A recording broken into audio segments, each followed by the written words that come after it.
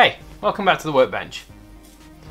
In a previous video I picked up this Commodore 64 and did a quick intro to it. This time around I'm going to look at fixing the power supply and getting it booting.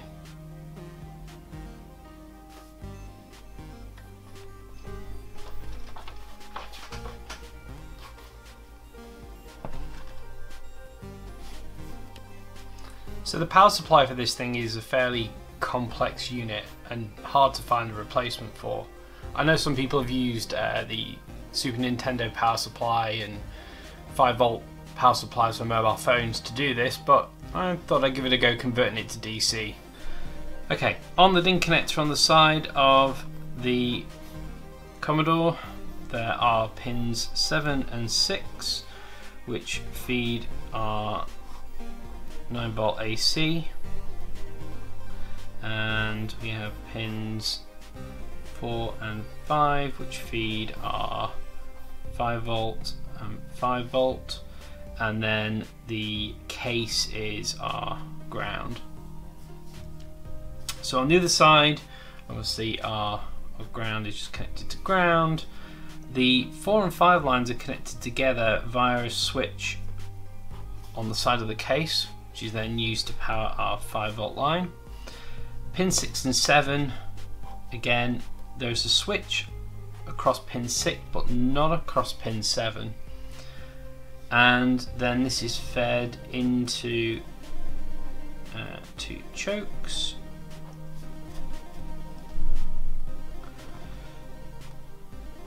Which eventually is fed into a bridge rectifier. They then take the positive line off the bridge rectifier and feed it into a 7805 5 volt regulator to create another 5 volt rail. And then on top of that on a 7812 or 7812 regulator they take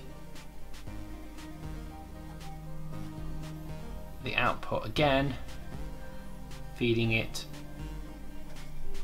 here into the 7812 to give a 12 volt rail. And this is connected back down here onto the AC line as well.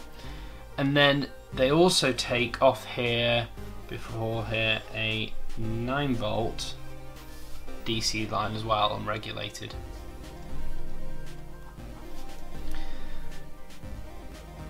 To add more complexity to this, they also take off here the AC signal and feed that into some 7.4 logic, uh, apologies, via a resistor, which is quite important, not a fuse, that is a resistor, and then into the complex interface adapters, which is used in there for a 50 or 60 hertz clock, depending on where you, where you are.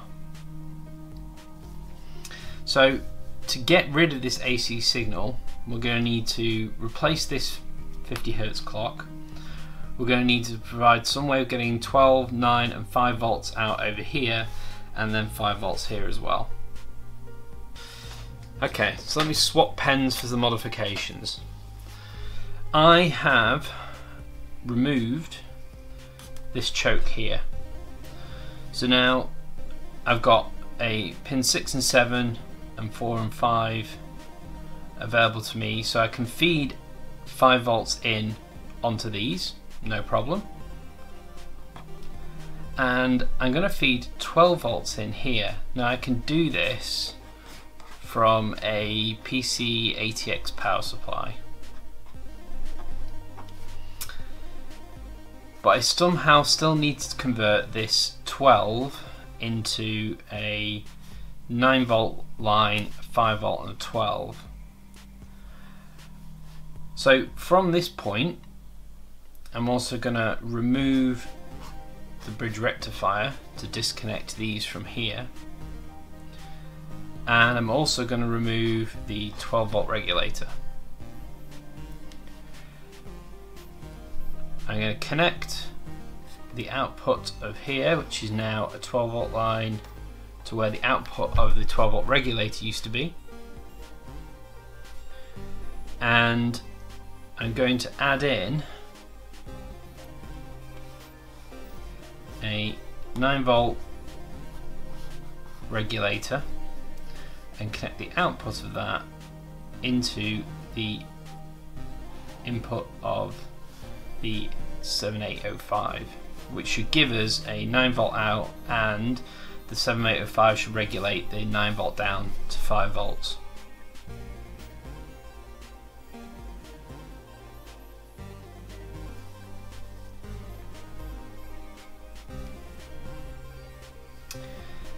To handle this here with the clock signal, did a bit of experimentation. Found if I uh, if I kill this resistor here, pull this out, and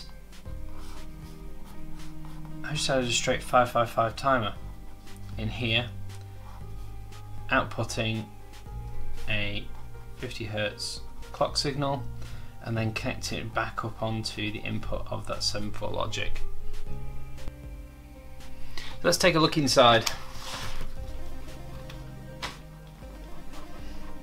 Okay, here we are back at the old machine. So, taking the lid off once again, disconnecting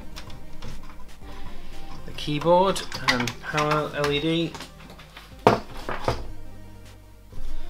can see inside here some of the modifications that I've made. So here is the uh, 9 volt regulator. This is just a cheap 99 pence uh, switching regulator um, from eBay. So the uh, the input of this is the 12 volts here, and then the output is the 9, which now feeds both the 9 volt rail and this 5 volt regulator down here to feed that second 5 volt line. There's 5 volts coming in through the DIN connector at the side here, and that 5 volts is now feeding our 555 timer this was another little cheapie.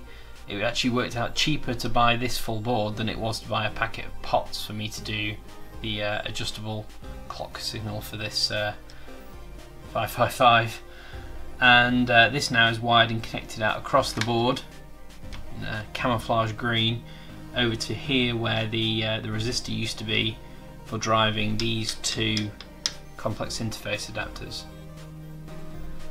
Sadly at this point when I turned it on we got the dreaded black screen of death. So a bit of reading and digging later I discovered that the, uh, the two most common failure modes for these is either the DRAM chips down here or the PLA.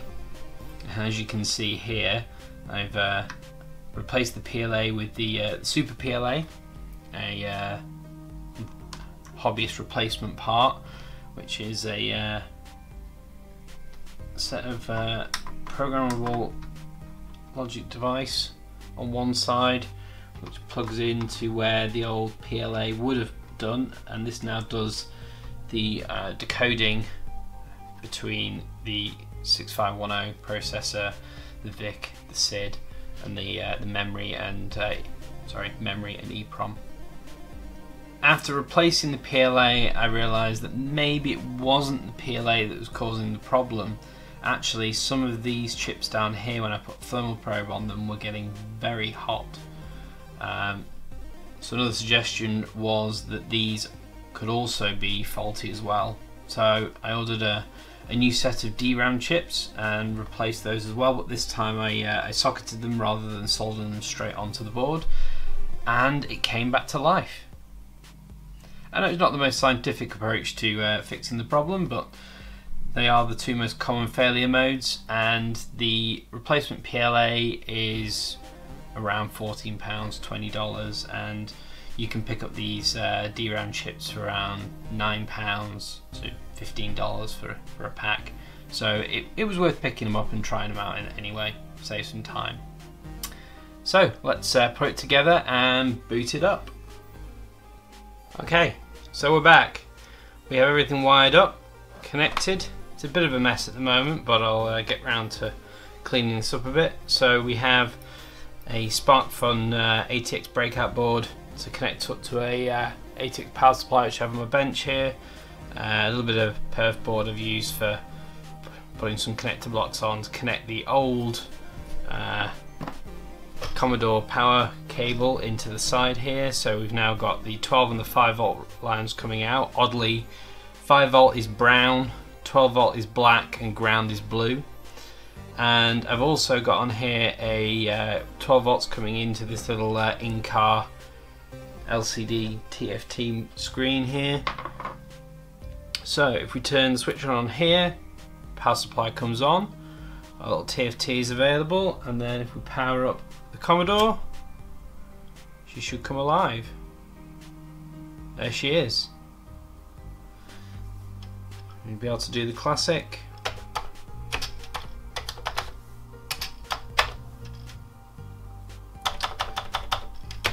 Do it right.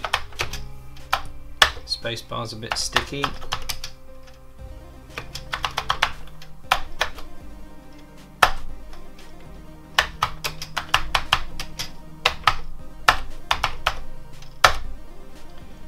There she is.